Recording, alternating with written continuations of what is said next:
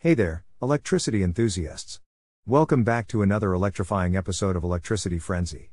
I'm your host, and today we've got a shockingly interesting topic to dive into. What happens when you run a 220 volts fan on a 110 volts outlet?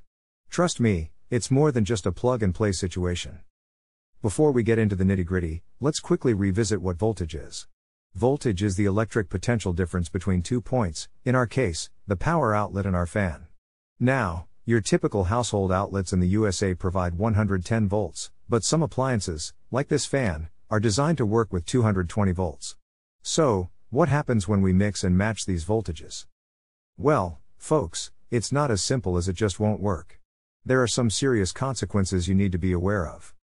Firstly, if you connect your 220 volts fan to a 110 volts outlet, it won't run as efficiently as it should.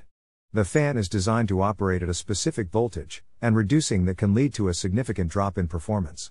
You might notice slower fan speeds and less airflow. Now, here's where it gets interesting overheating. The fan's motor is calibrated to handle a certain voltage. When you lower the voltage, the motor has to work harder, generating excess heat. This can lead to a shorter lifespan for your fan and, in extreme cases, could even pose a fire hazard. Safety first, always. Let's not forget about the internal components. The reduced voltage can cause damage to the fan's electronic circuits, digital display, and other sensitive parts. It's like asking your car to run on the wrong type of fuel, it's just not built for it. Now that we've seen the potential pitfalls, how can we prevent this from happening? Always check the voltage requirements of your appliances before plugging them in.